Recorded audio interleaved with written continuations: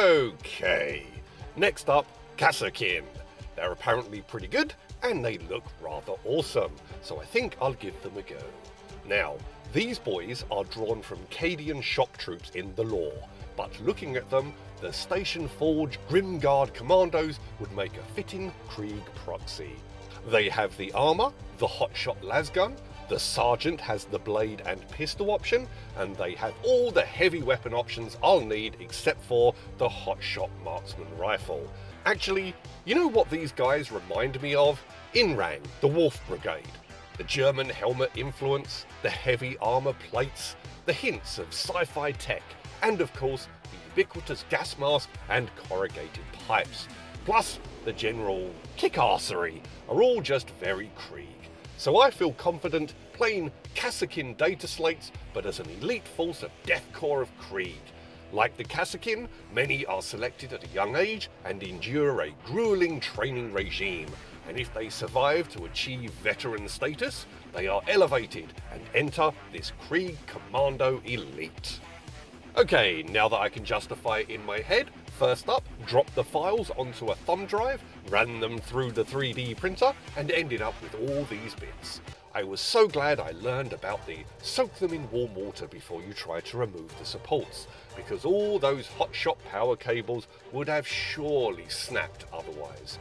I glued them to their bases, gave them a blast of Chaos Black primer, and then a base coat of Abaddon Black. Then, getting started with a nice dry brush of Thunderhawk blue layer to catch the wrinkles in the uniforms, the boots, the sleeves, and the gloves. A lighter dry brush of Dawnstone layer on the same areas to give a nice highlight to the ripples in the uniforms. The straps for their shin armour, and their tunics and belts.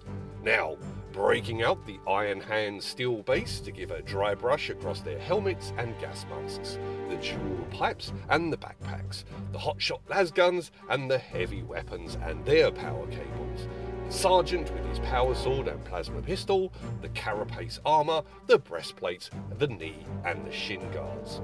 Okay, Khorne Red base on the pauldrons, and for the sergeant, painting his helmet red as a sign of command status and easy identification in the thick of battle.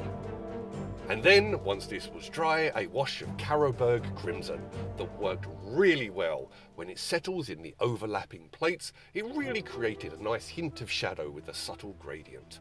On to the plasma weapons. White Scar, applied carefully to the areas where you'll see the energized glow and then just add some Tesseract Glow Technical, which settles into the grooves and the perimeter, creating the nice glowing effect with no fuss whatsoever.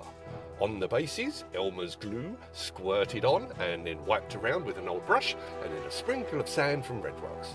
Once dry, if there were any bare patches or thin areas, another few squirts and another sprinkle of sand, and then leave it to totally dry and then breaking out the Cadian flesh tone layer so I can dry brush around their boots, applying it a little more heavily at the ground and working upwards to get that marching through a dusty desert environment look.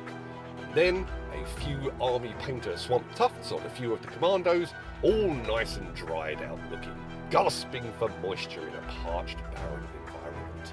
And then back to the box for a squirt of varnish to lock everything down and protect the paint job. Right, another entry in my regiment done. My commandos, a squad of elite veteran warriors, equipped and armed with the best in weaponry hotshot lasguns, plasma, flamers, melters, poised to be deployed in the harshest of battle zones, fearless, steadfast, and even eager to die for the Emperor, finally achieving the peace and atonement that all Kriegs seek.